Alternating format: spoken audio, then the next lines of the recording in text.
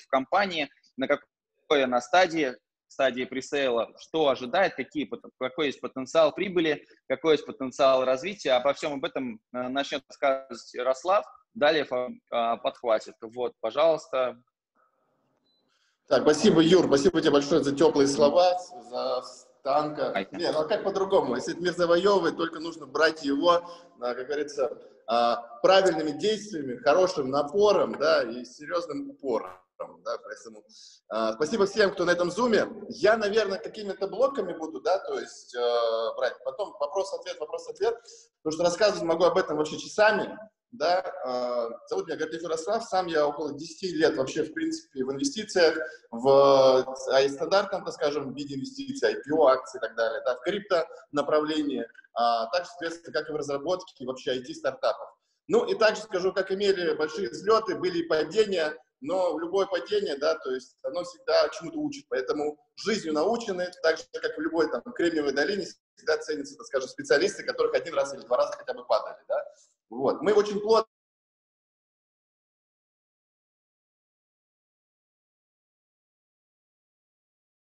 и этих направлений. Что мы, кстати, с нами также Фарух Шакуров, да, то есть это человек именно с технической части, который больше может ответить на какие-то технические вопросы, с огромным а, бэкграундом таких там действующих больших компаний, таких как MBSafe, это американская действующая большая компания, таких крупных ребят, как uh, Orderbook, таких же, как Rayson, да, то есть, соответственно, большой бэкграунд, и это только малая часть, то, что он расскажет сам о себе. И в целом какая идея? То есть идея очень простая. Мы изучили рынок, мы увидели проблемы у э, направлений некоторых, да, потому что криптовалюта и то, что мы запускаем в сфере криптовалют сейчас, это лишь небольшая часть. Если мы посмотрим немножко вообще, скажем, сверху, именно, да, на весь мир, то большая проблема сейчас – это огромный объем оцифрованных данных, который, а, скажем, по объему обогнал за этот год, чем за предыдущие 10 лет. Если вы изучите статистику Amazon, а, Google и больших игроков, то уже идет, э, скажем, они уже признают о том, что а, обработка данных – это будущая проблема всех крупных корпораций, потому что объем очень большой, и он обгоняет, чем, скажем, обгоняет большие мощностях, которые существуют сейчас в мире, да, то есть тот, тот весь поток информации, который есть. За следующие пять лет мы обгоним, э, скажем, по объему больше, чем за предыдущие 10 лет. И мы решили сначала отталкиваться от этого, потом пришли там в направление далее какое, ну, криптовалюты, да, то есть, ну, какое здесь мы решение нашли. Чем строить супер какой-то компьютер, а, если взять венец инженерного, так скажем, технологии разработки и решения в мире, то есть как оценить, насколько мир прогрессивен, да, то есть то это телефон, любой смартфон, особенно последних видов, это самое а, технологичное решение вообще в инженерном, так скажем, а, решении любой технологии в мире. Почему? Потому что очень маленький аппарат, скажем, он собой себя представляет уже больше, чем просто навигацию, смартфон, либо звонок, да. Но из, из маркетинга, если взять, то, соответственно, здесь сторона какая?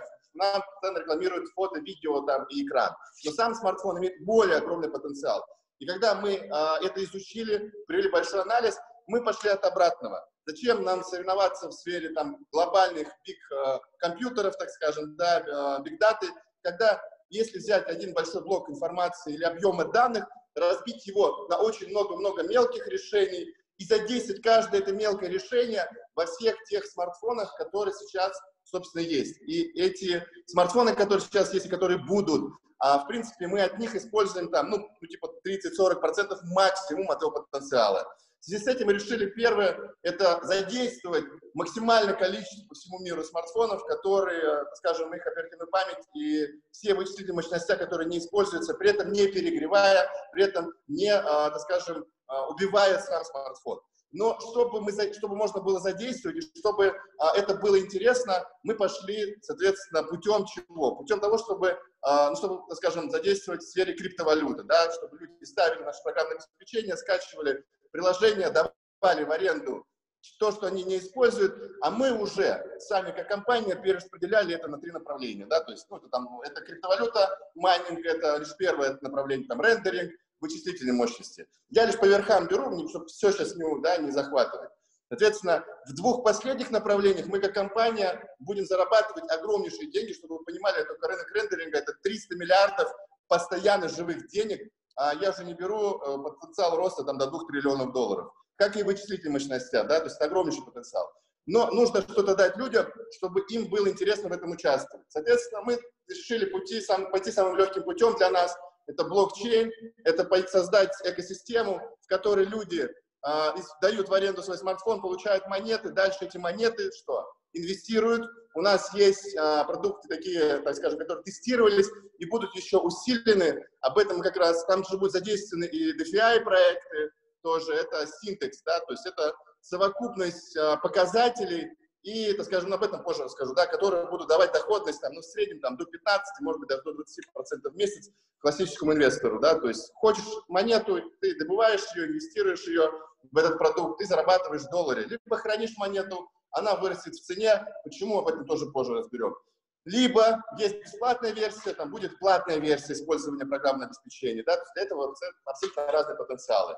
Соответственно, мы также э, будем, так скажем, вернее, уже э, партнеры выходим с такими компаниями, да, как токенами SpaceX Security, токенами Indo-RNB крупных брендов, которые будут представлены также в нашей экосистеме. То есть человеческий смартфон задействован как? Отдаешь свой потенциал, манишь монету. Эту монету тратишь, инвестируешь, плюс полноценный банкинг, то есть карта, а, платежная система, чтобы человек мог также обналичивать, тратить, так скажем, эту монету, да, то есть это целая большая работа. То есть одно приложение, которое человеку дает и майнинг, и инвестирование, и траты, и, соответственно, средства использования в любой точке мира. Это лишь малая часть ну, той экосистемы, которую мы, собственно, сейчас э, выводим на рынок. Да, естественно, поэтапно. То есть каждый месяц у нас сейчас там продукт, продукт, продукт, потом каждый квартал будет продукт. И плюс также задействован в одном из направлений, DeFi направление, но не в целом как э, общий принцип, базис, да, а лишь как одно из направление одного из продуктов, потому что здесь high риск, да, то здесь очень большие быстрые деньги, но при этом есть большой, большая возможность и улететь в трубу. И поэтому с этим очень аккуратно на это смотрим. А, если есть вопросы какие-то, может сразу задавать, либо по ходу, либо, может быть, Фарух что-то от себя скажет. Здесь, да? Да, всем добрый день. Секундочку, я подключусь. Я, кажется, забыл включить видео. Всех приветствую. А, всем большой привет из города Киев. А, да, я бы хотел больше, наверное, немножко о технической части рассказать, э, то есть э, объяснить простыми словами то, что мы пытаемся сделать, то есть э, делаем на сегодняшний день. А, значит, идея на самом деле очень простая, то есть по всему миру есть очень много смартфонов, которые каждый из нас пользуется, да, наверняка сейчас кто-то из вас даже на этом звонке присутствует с помощью смартфона. Вот. И проведя небольшие, скажем так, исследования, а мы поняли, что смартфоны мы задействуем не полностью. Кто-то, допустим, заполняет память полностью, кто-то использует оперативную память полностью. Но в целом, если взять средние показатели, то мы используем смартфон лишь наполовину от его способностей. А, в связи с этим возникла идея взять объединить ресурсы всех этих смартфонов и а, использовать их совокупную мощность в, для решения разных задач, как ранее говорил Ярослав. То есть задачи перспективы на самом деле очень большие, начиная от э, банального майнинга, заканчивая до облачного хранения данных, обработки данных э, и прочих других задач да, по всему миру. То есть как и мы хотим э, на данный момент создать такую платформу, объединить э, смартфоны, и, собственно, монетизировать это действие, э, эту деятельность путем того, что мы выполняем задачи по хранению данных, по обработке данных, по майнингу, с одной стороны, с другой стороны, мы э, приглашаем людей, владельцев смартфонов присоединяться к нашей сети и получать вознаграждение за то, что они, скажем так, сдают в аренду мощности своего телефона. То есть это лишь первый шаг, это шаг входа человека в нашу систему. То есть с чего это все начинается? Э, пользователь, а, подключая свой смартфон к нашей платформе, мы начинаем использовать его ресурсы, мы начинаем выплачивать ему вознаграждение за использование его ресурсов. А вознаграждение мы платим собственной криптовалюте, которая также будет выпускаться, а, майниться, который также можно будет добыть, либо приобрести. Вот. Вознаграждение мы платим в своей валюте, так как э, это удобно, мы можем это делать для любого пользователя с любой точки мира и при этом не нарушать какие-либо юридические а, аспекты, нюансы и тонкости. А, вот. После того, как пользователь начинает э, задействовать э, ресурс своего смартфона, а после этого он начинает зарабатывать. И, собственно, после того, как он уже начинает получать вознаграждение, он нас, опять-таки, для него есть ряд предложений. Что делать с этим вознаграждением? А, вариант первый, а, то есть перевести сконвертировать их в обычную валюту и забрать деньги, если для него это приемлемо. Вариант второй, сохранить их и получать а, собственно, вознаграждение за то, что он просто их хранит у себя на счету, так называемый стейкинг. Вариант третий, он использует данные токены в рамках всей нашей экосистемы, начиная от а, покупки товаров и услуг в онлайне, заканчивая до инвестирования а, в те или иные инвестиционные продукты, которые также будут представлены а, в нашей экосистеме. Основная технология, которая это позволяет нам это сделать, это первая, это технология а, которая позволяет разбивать любые задачи любой сложности ровно пропорционально, э, исходя из того, какое устройство у человека. Да? То есть мы не берем огромную задачу и передаем его на обработку смартфона. Мы берем эту задачу, разбиваем на э, мелкие частицы и рассылаем по всему, по всей сети. После собираем результаты, объединяем их в единое решение и уже получаем э, готовые задачи. Вот. И это лишь только начало, поскольку подключение к сети смартфонов это только первый шаг, поскольку в дальнейшем можно будет подключать и другие устройства, у которых есть а, доступ в интернет. Это планшеты, ноутбуки, а, элементы умного дома, все, что имеет выход Wi-Fi, все, что имеет выход в интернет, это все будущем возможно будет подключить. Но, опять-таки, мы не можем сделать все и сразу, поэтому наш первый шаг — это запуск э, со смартфонов, поскольку это более понятная а, процедура, и э, обработка информации в рамках добычи токенов. Это тоже более понятная процедура. После того, как мы это все отрабатываем на этих механизмах, после переключаемся на другие виды деятельности и на другие собственные устройства. А, это что касается технической части. А, я также буду рад ответить на какие-то более конкретные вопросы. Вот сейчас продолжение звонка, поэтому возвращаю слово Ярославу. Слушай, я еще хотел бы, знать, чтобы ты затронул немножко часть технической своей, э, скажем, э, сколько ты понимаешь тему техническую вообще, да, крипты в целом, вот то, что ты делал, что за какие-то таких много, я знаю, там около 20 у тебя проектов за спиной, какие-то вот наиболее такие запоминающиеся, которые сейчас работают, там, MBC, что они решают, какую задачу, да, именно финтеха. Да, спасибо. Да, извиняюсь, я забыл э, начать, собственно, именно с этого. Э, смотрите, если немного о себе, то э, занимаюсь я именно блокчейн и IT, все темы э, с тех пор, как, э, когда это даже все было не модно, то есть когда это не считалось каким-то хайповым движением, да, когда все эти ICO пришли еще до этого, далеко до этого, мы начали делать свой первый проект еще в конце 2015 года, проект назывался OpenAI, а, его его основная ценность была в том, что мы запускали свой мессенджер, внутри которого был свой токен. И вот, в общем, за общение и распространение мессенджера люди получали вознаграждение. Там была создана огромная инфраструктура, но на протяжении двух лет после появления Телеграма и его там становления популярности мессенджер так и не обрел популярность. Но если мы говорим из более серьезных именно блокчейн-проектов, я работал в компании UBSafe на протяжении двух с половиной лет. Мы занимались разработкой программного обеспечения для крупных блокчейн-проектов, для крупных ICO-проектов, которые организовывали свои ICO-проекты, из таких как Remy, Hacking, могу назвать э, проект Orderbook, который мы сами проводили, это децентрализованная криптобиржа, это проект э, это э, проект блокчейн недвижимости Сан-Франциско, а, какие еще проекты. Их очень много, поэтому по именам не могу вспомнить. А, из последних это проект Rayzone, это финтех-приложение, позволяющее по всему миру удобно покупать, продавать криптовалюту, используя банковскую карту, а, больше такой процессинг-провайдер. Ну, и, и... Я, думаю, что, я, думаю, что, я думаю, что достаточно. Мы еще, если надо, будем познакомимся там. Да, я, я готов прислать э, свои контакты, буду рад пообщаться, рассказать еще об этом подробнее. Да, давайте, может быть, какой-то вопрос, если есть, чтобы мы сейчас не ходили в лес. Что интересует? Да. Э, можно вот, э, привет. Вопрос по поводу вот этого смартфона, вот это задействие. То есть, ну, как бы решения, они же обычно принимаются, чтобы там а, или облегчить жизнь, или решить какую-то проблему или какую-то задачу. Mm-hmm. Вот, э, вот этот продукт какую проблему решает? Ну, то есть, исходя из чего он составлялся? Mm-hmm. Смотрите, он, э, э, вот значит, что мы на сегодняшний день имеем, да, то есть любые современные задачи, которые решаются на цифровом уровне, они решаются благодаря серверам, вычислительным мощностям и так далее. То есть э, с каждым днем как бы загрузка, нагрузка на вот эту всю инфраструктуру, да, железо становится, ну, все больше и больше растет. В нашем случае мы решаем э, проблему масштабирования, поскольку скоро у нас появится обязательно технология 5G уже на подходе, она повсюду внедряется. Появляются, становятся популярны всякие VR-интерфейсы, да, которые тоже требуют вычислительных мощностей. А появляются об, об, огромные объемы массивных данных, да, да, которые обрабатывает нейронная сеть. Вот. И для обеспечения, то, чтобы это все работало, чтобы это все развивалось, на чем-то оно должно работать. То есть для этого нужны большие дата-центры, для этого нужны э, большие серверные инфраструктуры.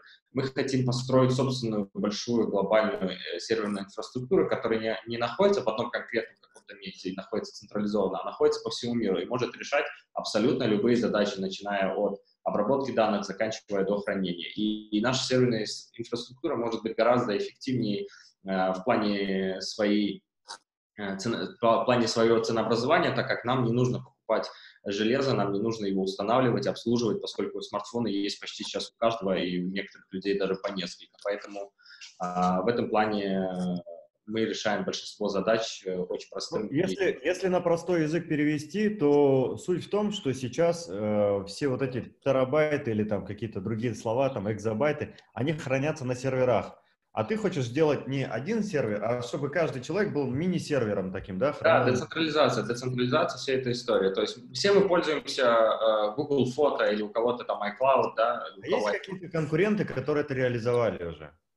Смотрите, есть отдельные игроки на рынке, которые стартапы в Сан-Франциско, которые решали эти задачи. Допустим, была компания, почему говорю была, потому что они так и не смогли до конца реализовать. Была компания Sixa, стартап, точнее, в Сан-Франциско, который поднял большие деньги в инвестиционном раунде. Они хотели сделать э, что-то вроде облачного рендеринга, да, что вы заходите, оставляете заявку на обработку данных, и у вас все эта история как бы децентрализованно рендерится. Ну, имеется в виду, что обрабатываются фотографии и видео.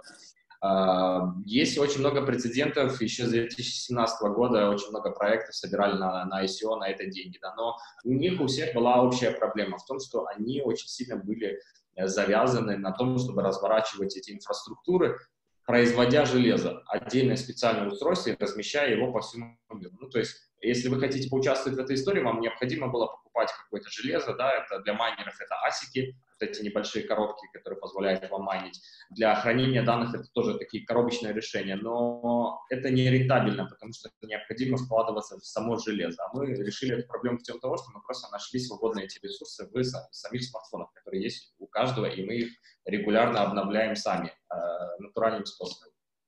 Плюс, плюс к этому мы пошли по своим простым путем, как заинтересовать людей. То есть давать им монету, давать им возможность, желание ее тратить, зарабатывать и сейчас сетевой составляющей, да, то, что не было у проектов, которые ранее. То есть людей завлечь, так скажем, чтобы они отдавали свою мощность в аренду. То есть должна быть экосистема. То, что не было тоже а, что-то подобное. Были хорошие идеи, но больше собирались под это деньги, и компания не реализовывалась именно в плане инфраструктуры. У нас в этом плане очень продумано. То есть мы, соответственно, а, в этом плане очень хорошо можем развить Плюс еще, плюс еще такой, что для большинства людей, это именно взять если саму крипту, да, то очень трудный шаг, то есть трудный шаг даже в сфере криптовалюты, чтобы абсолютно любой человек мог зайти, даже сейчас в Uniswap проходит, даже там, допустим, еще какие-то направления есть, доходные, но для простого человека перейти вот этот шаг, да, зайти на какую-то платформу, зайти куда-то на какую-то биржу купить или еще что-то. То есть нету популяризации вот в масштабном виде, да, то есть людям это сложно сделать. Смартфон, по сути, я себя идентифицирую с любым, со своим смартфоном, одну четвертую жизни я провожу. И мы говорим человеку, смотри, а, тебе дальше, чем твой смартфон и дальше, чем это приложение, идти никуда не надо. Ты майнер, ты платформа, ты сдаешь в аренду, ты являешься фермером, твоя криптовалюта у тебя уже здесь. Все, ты готов к этому, да? И вот эта штука, которая тоже решает, я, по крайней мере, вижу решение в сфере криптовалюты, популяризации, в принципе, этого направления, потому что мы уже задействуем каждого человека, а уже дальше мы решаем проблемы за счет этого в других направлениях и отраслях. А если никто это не сделал до сих пор, э, мы думаем, что у нас это получится на основе чего? Энтузиазма или мы это уже написали? Ну, под мы я подразумеваю, Фарух, тебя. То есть ты это уже сделал, это, этот продукт, он рабочий уже или пока он еще там выверяется? Смотрите. Ну, то есть откуда ты знаешь, что он получится у нас? Я к тому же. Смотрите, э, любая технология, любая новизна, она заходит на рынок э, не сразу, да, она заходит путем нескольких каких-то провалов, то есть конкретные бренды, названия крупных компаний не могу вам сказать, у кого были попытки именно децентрализовать всю эту историю, но а, вспомним появление любой новой технологии, начиная с смартфона, заканчивая до двигателей. Сначала они появлялись в очень сложном, а, не, сложном виде, а неэффективном. Ну, если мы смотрим из будущего назад.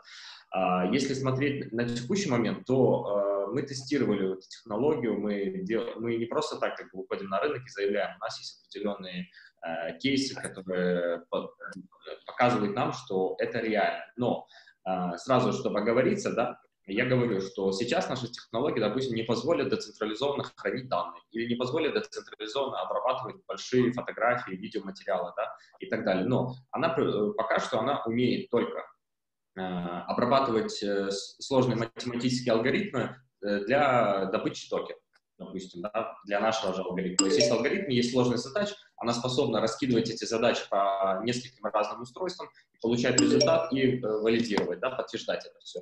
Но в будущем мы эту же технологию будем развивать, модернизировать ее и адаптировать ее, допустим, следующий шаг это будет на то, чтобы а, наша сеть умела не только обрабатывать информацию, но еще и сохранять ее эффективным образом, разбивая ее на сжимая и разбирая, разбивая ее на все устройства, которые у нас есть в сети.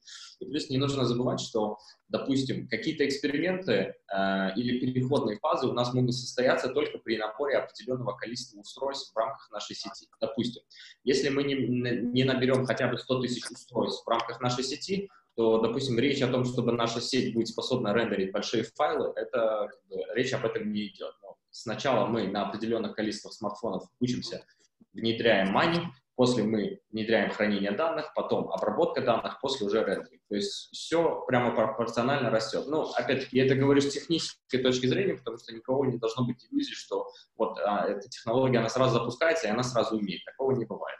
То есть, так как это глобальная история, то она сначала будет использоваться для одних целей, масштабироваться, э, тестироваться и пере, после э, адаптироваться уже под другие решения. Ну, то есть э, начальные шаги есть, да? Начальные шаги. Нет, конечно, начальные шаги есть, и мы специально начинаем именно с того, чтобы эти устро... Э, мощности этих устройств были задействованы только для того, чтобы обрабатывать э, э, сложные математические задачи в рамках нашего же блокчейна. Почему? А, потому что а, мы на этом этапе сможем проконтролировать и выяснить все определенные моменты, которые на уровне теста не всплывали. Допустим, как на это отреагирует App Store да, в будущем, что нам тоже очень важно выстроить правильное взаимоотношение с а, магазинами приложений App Store, Google Play, потому что ну, без них никуда. А, потому что вы сейчас видите, какие прецеденты происходят в мире, когда берут и больших разработчиков удаляют из своих магазинов, как недавно история была с Epic Games. Поэтому для, для начала, для начала это будет э, устройство всех, которые будут в нашей сети, они будут использоваться для того, чтобы обрабатывать, а, обслуживать наш же блокчейн. На этом этапе мы а, решим все определенные задачи, связанные с магазинным приложением, мы наберем необходимое количество устройств в рамках нашей сети. И следующим шагом сразу переходим уже на обработку а, данных. Если ваш вопрос был конкретно про то, пробовали мы это все делать, тестировали мы, да, мы это делали, но это не было из серии, что это было на миллион устройств или на два миллиона устройств. Вот было... вопрос, каким образом мы э, соберем такое большое количество устройств? Ну, чтобы оно прям было масштабно так? Смотрите, тут, тут на самом деле э, нужно смотреть не через призму техническую, да, тут нужно смотреть а, через призму маркетинговую, потому что все понимают, что подойти, подойти к человеку и попросить его что-то дать, он всегда трижды подумает. Но если подойти к человеку и предложить ему что-то э, сначала отдать, допустим, предложить ему бесплатно установить приложение и начать монетизировать ресурс своего смартфона, он как минимум этим заинтересуется конверсия будет гораздо больше тех людей, кто как минимум заинтересуется и начнет этим заниматься. Особенно в Азии люди очень увлекаются и заинтересованы. И если говорить за прецеденты, то все помнят э, времена, когда были популярны CPI-сети, да, когда ты скачивал приложение, выполнял определенные задачи, где-то лайки ставил, где-то комментарии писал, э, где-то на ошибки текст проверял и получал за это вознаграждение. Сейчас эти большие CPI-сети тоже живут. Это, по сути, такой же формат CPI, только мы не ставим человеку задачу вручную что-то выполнять. Мы лишь просим одолжить часть ресурсов его смартфона. И мне кажется... Ну и плюс, да, и плюс еще к этому нужно же понимать, что мы э, идем по пути какому. То есть есть бесплатная возможность, есть платное, есть что с этим делать, инвестировать, есть экосистема, да, запустить банкинг, можно будет тратить. Плюс к этому набирается определенное количество людей на старте, которые будет это двигать. Потом подключается уже процесс так скажем, именно маркетинга, да, то есть это таргетинг, это э, реклама, это упаковка в СМИ, это Форс Монако, это реклама в разных, так скажем, э, профессиональных э, сообществах, да, именно темы компании, от экспертов, так скажем, да, плюс э, популяризация через мероприятия, там, Blockchain Life, иностранные мероприятия, мы даже вот сейчас запартнерились с очень крутыми ребятами, которые нам полноценный банкинг будут давать, да, то есть у них топ э, мирового уровня, да, то есть э, их платежные вообще решения с визой напрямую сотрудничают, да, то есть это не то Зимун, вообще абсолютно ребята на другом уровне, но то Зимун тоже молодцы, да, но при этом э, выезд, э, так скажем, в комьюнити и популяризация даже в партнерстве, где мы, будет у нас там от SpaceX до э, таких решений, в которые уже было вложено топ бизнес-ангелов вообще в мире, и эти ребята наши будут тоже партнеры. Мы также будем через профессиональных сообщество популяризировать. А, что, будут а видеть... что за сервис вот этот, Ярослав, который ты говоришь? Я не могу тебе пока рассказать об этом, это будет представлено, сейчас конечные документы как подпишем, да, то есть это приложение, а, но при этом они первые, кто в мире с визой официальными все договора, это огромная компания, а, в этот стартап было внесено, инвестировано 200 миллионов долларов, да, у них вся Азия, и, следственно, их решение в моменте никак Допустим, чем отличается от Азимуна? От Азимуна у них есть стакан, они закрывают своими деньгами, таким образом них своя конвертация. Здесь же эта а, компания решила, что у них топ-10 бирж, конвертация абсолютно в любом моменте за 10 секунд, вот здесь за 3 секунды, там даже 2 секунды, да, то есть ты можешь сплотиться, уже Apple Pay готов, карты готовы, лично наши будут готовы карты. То есть это большая система, плюс ряд выездных мероприятий онлайн и офлайн, когда мы будем топ нашей команды людей знакомить с топ-мировыми людьми в сфере криптовалюты. И на это есть напрямую а, возможности. То есть мы обязательно хвата, э, захватываем по, дороге крутых партнеров. Где-то это личные контакты за 10 лет там, в, в сфере инвестиций, там, финтеха, да, так скажем, и у меня, и у Фарука, и у другой команды, э, так, части команды, которую мы представим, огромные возможности и связи. Соответственно,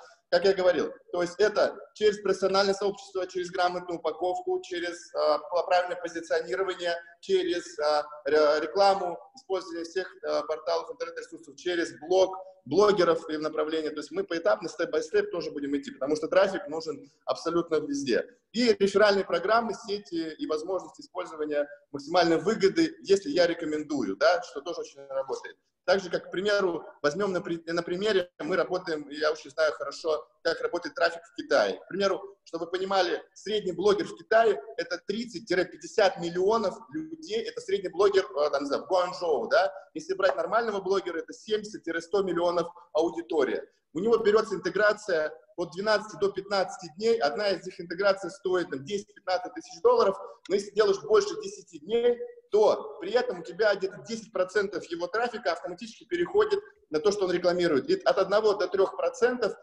покупают любую из услуг. Если мы берем даже 3% от среднего блогера 50 миллионов, это 150 тысяч людей, просто за две недели ты получаешь трафика, да. При этом, если ты есть бесплатно, если правильный подход, там, позиционирование, то есть есть четкое понимание, как в каждую страну, там, Казахстан, Монголия, Индонезия, Латинская Америка и так далее, там, когда я жил в Мексике, в Канкуне, да, то есть когда там в, на Панаме, там, и других, так скажем, странах, где я пребывал, есть много хороших дружеских контактов. Везде есть четкое понимание, как заходить. Где-то это блогеры, где-то это из разряда, как Казахстан, Монголия, один поднял там флаг, за ним пошли все предводители, да, Латинская Америка там по другому принципу действует. Поэтому это уже дорога, так скажем, следующих этапов. Сейчас самый простой путь, который начинается на земле.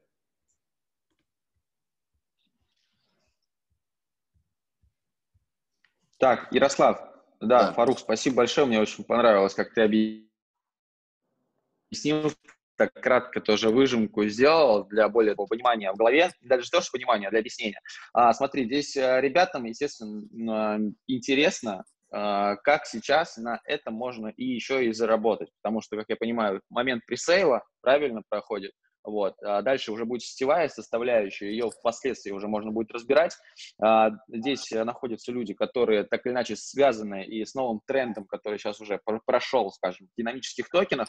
А, лично я знаю, как, что в компании а, TCG, да, правильно, феном, это, это немножко по-другому проработано, как чтобы удер, удерживать клиентов, чтобы давать им большую прибыль, чтобы предоставлять ликвидность. Вот об этом бы интересно было узнать, на каком стадии сейчас пресейл, он закончится и вообще к чему мы идем в ближайшей стадии развития, что могут люди ожидать для себя, какие доходы, ну и какой потенциал развития впоследствии. Давайте я, я посмотрю на себя это слово, да, Фарух? Э, Секундочку, есть... я хотел бы концептуальную часть рассказать, да. а Ярослав больше расскажет коммерческую да. часть. Значит, немного короткая выжимка концептуальной части. Значит, смотрите, Идея общая в чем? В том, чтобы заложить в изначальную техническую базу любые алгоритмы, которые будут использоваться в компании. Да? Первый алгоритм — это метод мотивирования людей устанавливать наше приложение, то есть присоединяться к нам и монетизировать свои ресурсы. То есть это предусмотрено. Мы предусматриваем э, изначально в алгоритме, закладываем тот факт, что люди в зависимости от того, какой у них смартфон,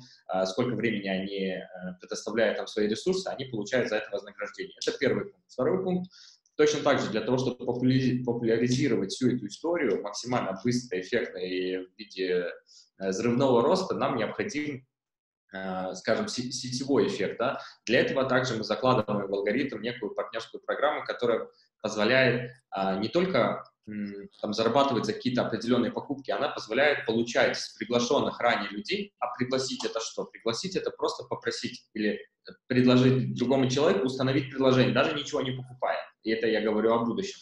А, пригласить людей и зарабатывать на любых их действиях, начиная от того, сколько они там зарабатывают, сдавая в аренду а, ресурс своего смартфона, сколько они зарабатывают на инвестициях, сколько они зарабатывают на курсах, сколько они, зарабатывают на хранении. То есть от любого действия э, тот, кто уже этого человека пригласил и подписал к себе, он зарабатывает. Даже от того, что он тратит, он тоже от этого зарабатывает. То есть это вот две основные составляющие. Это мотивировать людей использовать наши продукты. Второе — это мотивировать другую часть людей, приглашать людей, чтобы они использовали наши продукты. Все достаточно органично. А, теперь, что касается пресейла всей этой истории, то есть концептуальная история такая, что у нас будут а, наши собственные токены используются внутри нашей экосистемы. Для чего? А, для того, чтобы мы этими токенами рассчитывались с людьми за их действия, да, начиная от того, что сдают они э, ресурс своего смартфона в аренду или э, участвуют в продвижении всей экосистемы. Э, б, эти токены будут использоваться э, нами для приема платежей от людей, то есть любыми сервисами, которыми люди захотят воспользоваться внутри экосистемы, им для этого необходим будет наш токен. Неважно, это будет в Южной Америке или на севере России или в Украине, неважно, это будет, э, для этого будет использоваться токен. Б, также токен будет являться неким инструментом, который будет неким индикатором того, что тот или иной наш пользователь лояльный. Там, чем пользователь э, более вовлечен в э, экосистему, тем более, больше возможностей у него, собственно, открывается. И самая интересная история тут в том, что стоимость нашего токена, она будет органичной, то есть она не будет э, иметь на себе, в себе только одну какую-то, один какой-то критерий, да, что вот есть биржа, она торгуется, и сегодня биткоин, биткоин вырос, и токен вырос, а завтра биткоин упал, и токен упал. Нет, она себе будет сочетать разные элементы, начиная от того, что стоимость токена будет, э, на стоимость токена будет влиять общие показатели платформы, сколько человек зарегистрировалось, насколько э, хорошо идут дела, э, сколько пользователей в сети, какая мощность э, сети имеется в виду э, по вычислительным мощностям. И другая часть также будет учитываться. Это количество спроса и предложения на наши токены. Э, вот. И также наши токены будут ограничены в эмиссии, то есть их будет э, конечное их число 100 миллионов, а сейчас в рамках пресела для начального э, некого буферной зоны мы э, делаем примани 30 миллионов, остальные 70 миллионов, их сложность добычи рассчитана на ближайшие 5 лет э, с помощью смартфона. Вот, это, собственно, я концептуальную часть хотел рассказать. Теперь сейчас Ярослав, собственно, расскажет все остальное, о чем просили. Спасибо. Ну, я пытаюсь максимально коротко э, и, так скажем, по рэперным точкам. Если не будет пользователей, если на чем у вас зарабатывать, да, есть на чем зарабатывать, у нас есть э, инструменты, на которых уже проверены, у которых есть открытая статистика, которые также будут запущены в экосистеме, которые дают пассивный доход. Здесь, то есть, соответственно, есть активная часть привлечения людей, есть, собственно, инструменты, которые дают и будут давать доходность как отдельный вид заработка, нашей экосистеме, но через токен, да, поэтому о том, о этом я говорил в самом начале. К этому пассивному инструменту, о котором мы работаем сейчас, прибавится уже, э, когда сеть будет большая, другие пассивные инструменты в виде, как мы говорили, рендеринга, обучения мощности, когда сеть будет большая. То есть компания, по сути, имеет возможность, не генеря даже новых, э, так скажем, постоянно притока людей, при этом генерить капитал и зарабатывать на этом и делиться этой возможностью с людьми. Теперь по поводу самой экосистемы. Самое, что очень важно, да, то есть э, первое, это технология, которая как работает и легко доступность ее в виде там смартфона бесплатно бесплатного обслуживания, окей. А второе, это, так скажем, экосистема, где это может там тратиться, зарабатываться, там использоваться, окей. Еще что очень важно, да, то есть, и что показало отчасти хороший положительный эффект, но я не совсем, я вижу в этом большие риски, но это уже выбор каждого, да, то есть это ограниченные эмиссии там в разных, там, в DeFi проектах одна история, там в каких-то других криптовалютах своя история. Что у нас? То есть, первое, а, динамические токены, все, что связано с историей P2P продаж, я считаю, это наиболее тупиковая а, ситуация. Почему? Потому что когда у человека заинтересованность купить или продать только на то, чтобы быстро сорвать деньги, это может быть хорошо, но это экономически нестабильно. Да? Эта ситуация заканчивается лишь на том этапе трафика людей. И мы, когда изнутри рассматриваем свою экосистему, мы рассматриваем с первого этапа это правильного баланса возможности хорошего заработка, но не при этом не уходить в утопию, чтобы это имело только зависимость от самого трафика, да. И когда мы выпускаем 100 миллионов токенов, вернее, в совокупности может быть выпущено, как и сказал Фарук, 70 будет добыто в течение 5 лет, 30 мы запускаем на пресейле. А, что это значит? Первый этап, это вот который сейчас идет, вот 0,05 центов, уже 0,07 до 0,010, то есть это возможность купить со скидкой, так скажем, да, то есть цена официально будет с 10 центов. Второй этап это когда уже мы запускаем в октябре продукты, не только саму монету и пресейл примайнинга, а именно инвестиции, то есть синтекс да, пассивного дохода, лицензии, возможность заработка с реферальной системой, возможность майнинг в более промышленных, так скажем, масштабах, ну и, соответственно, marketplace.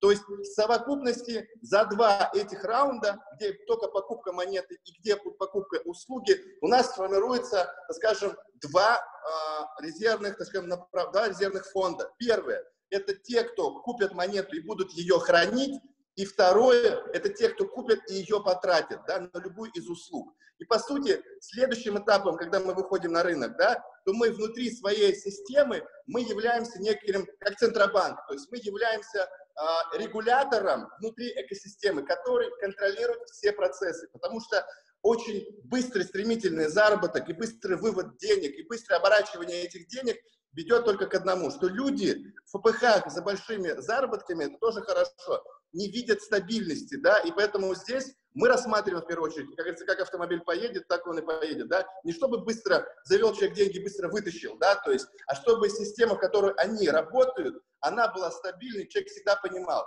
что его монета будет всегда выкуплена компанией, на это у нас есть резервный фонд, и мы, соответственно, работаем по принципу, что мы выкупаем у людей. А вот для внешнего клиента условия покупки выставляем уже мы самостоятельно, да, Соответственно, по сути, мы с, э, после, с теми клиентами, которые зайдут на преселе, мы являться будем в некой коллаборации, да, с монополистами во всей своей экосистеме.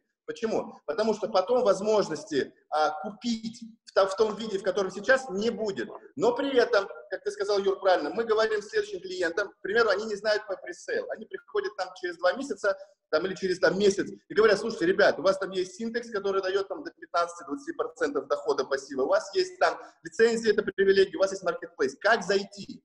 Мы говорим, зайти можно только через монету, да, то через токен. И то есть у нас есть два фактора, которые влияют на стоимость. Правильный, сбалансированный экономический рост – это как рабо работа всей экосистемы. И второй – это спекулятивный, потому что, а, приведу пример. Вы покупаете услугу через два месяца у нас, к примеру, за 500 долларов. Либо вы инвестируете 1000 долларов а, через два месяца. При а, конвертации через нашу монету, которую вам нужно будет купить, будет это стоить, к примеру, 1000 долларов, и это будет 10 тысяч монет. Либо это будет 100 тысяч монет, либо это будет 1000 монет. Вам будет абсолютно без разницы, потому что вы купили услугу, монета для вас транзит, вы зашли в эту услугу. То есть вы пришли сюда через транзитную услугу. Соответственно, для вас курс абсолютно не важен. Но для тех, кто уже в экосистеме, для тех, для кого уже монета была выпущена, кто ее купил, сохранил, либо потратил, каждый цент – это 10% плюса. Соответственно, здесь, если удаваться в утопические, сложно-математические расчеты, да, чтобы сейчас не грузить вас, а, потенциал роста, он может быть как и быстрым, может быть и стремительным, может быть и медленным. Но я склоняюсь к тому, что это будет поэтапно, степ-бай-степ, в определенный момент при создании дефицита это будет эффект создан гораздо быстрее. Ну, я скажу так, в планах, в планах а, при всех выдержанных обязательствах это сделать от 10 центов до 1 доллара, это в течение года, при э, правильных спекулятивных показателях это может быть все и 10 долларов стоимости, да, то есть поэтому считайте, если вы даже по 10 центов зашли в экосистему, сколько это может вам стоить в будущем. И я скажу, это лишь наши прагматичные, мы прагматики, мы всегда подходим с занижением всех показателей и занижением всех ожиданий, да, то есть поэтому, исходя из этого, это может быть абсолютная история со всеми другими показателями в плане финансов. Но даже уже то, что я озвучил, это очень хорошие деньги плане э, работы и взаимодействия с нами.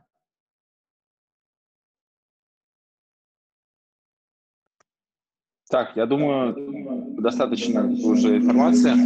Ну, в плане, ребят, наверное, все понятно. Сейчас можем приступить к вопросам, если есть. Меня интересует, потому что Шамиль, ты уже задал вопросы. Может, у Сережи, у Амали есть вопросы какие-то в плане, э, чтобы разобраться. Для меня, допустим, что могу сказать от себя, картина еще более грамотно сложилась. Да, э, очень полезный э, вебинар, ну, очень полезный зум. Вот, Сереж, э, если ты на связи, есть ли какие-то вопросы, какой-то интерес, скажи, пожалуйста, очень важно знать. Да, да, конечно, слушайте, очень интересный, э, не совершенно история, я думаю, в дальнейшем будет приобретать, тем более где-то полгода я так жил здесь в одном с айтишником и рассказывал, типа, пост на нативе, ну, устройств, как-то этому значения, вот, и, и что это не серьезно. Так оказалось, что уже реализовывали, сейчас мы это ждем от вас. Это, да, это реально будет реализовано. То есть, если э, максимально быстро подано, потому что чаще всего, да, что мы встречаем в проектах, есть какая история, есть то, что мы собираем, а, есть то, что участвуем, в конце концов, не по того, что изначально говорили. Если это здесь включено, тогда, я думаю, все уже мы, можно сделать. У меня очень прерывался э, разговор. А может, Сергей, или кто-то может повторить э, вопрос был или нет? Я просто, Юр, не расслышал. Нет, вопросов не было, как я понял. Сережа сказал просто, что все окей, ребят, работаем вот так. Что типа того. Вот, это если я правильно понял, ну, вроде правильно, прерывает, прервался за рулем, видимо, там на Бали не так, как у нас в Москве ловит связь, но на Бали. Вот, это раз. А, как вы понимаете, здесь немного такой закрытый у нас Zoom получился, да, а, я приглашал очень нескольких людей сюда, видимо, не получилось зайти, они, может быть, в шоке, пока от иксов на DeFi находятся. Но это нормальная история. Вот. Здесь, я думаю, тоже большой потенциал развития есть. Он наиболее полномерный, конечно, да, но я вижу в этом стабильность. Мне интересна сама идея. И идея, а, как задействование ресурсов телефонов, ее не первую хотим реализовать, естественно, да, я уже много раз слышал об облачном хранении, но там тоже задействованы были сервера. Здесь потенциал есть. Если грамотно проработать всю маркетинговую программу, если грамотно будет соблюдена, соблюден э, скажем, соблюдена токеномика, то есть как будет рост токена всегда, ну, если он будет расти, впоследствии, это будет людям интересно. Если это будет дроп, какой-то дроп а, для людей, которые будут, смогут, устанавливая приложение, получать деньги либо вознаграждение какое-то, это тоже будет интересно. То есть потенциал технологии, потенциал а, развития здесь есть. Ну вот я для себя выбор сделал, для ребят, чтобы понимание было, да, я зашел на пресейл, дальше уже ответ от ребят, как можно... Я вижу даже дальнейшие даже и коллаборации наши с направлением хорошие. Как-то так. Можно подытожить. Есть у кого-то еще, может быть, вопросы? Амаль, может быть, у тебя вопросы есть? А, информации вообще предостаточно, прям даже этот. А, единственный вопрос был, а, который Шамиль уже задал. В принципе, вопросов больше нет. Интересно, что-то новое. Вот, нужно как бы реализовывать на пресейл, скорее всего, тоже зайдем. Еще подразберемся чуть-чуть, презентацию пролистать достаточно будет. Все, как бы там еще пообщаемся отдельно. Круто. Тогда спасибо большое вам, ребят, за уделенное время. Всем, кто кайфует на Бали, большой привет и респект. Вот. Мы кайфуем здесь, но не от Бали, да, от движухи, которая происходит. А, Юр, спасибо тебе за организацию, приглашение твоих людей. Шамиль, тебе тоже огромное спасибо за хорошие вопросы. Фарух, тебе за компетентность. Ну, а мне как танку за то, что мы дальше прем. Поэтому всем спасибо. Я вас рад был увидеть, Все. буду рад увидеть всегда 24 часа на связи. Мы забежим, может, тебе сейчас. Давай. Давайте, давайте, давайте, давайте.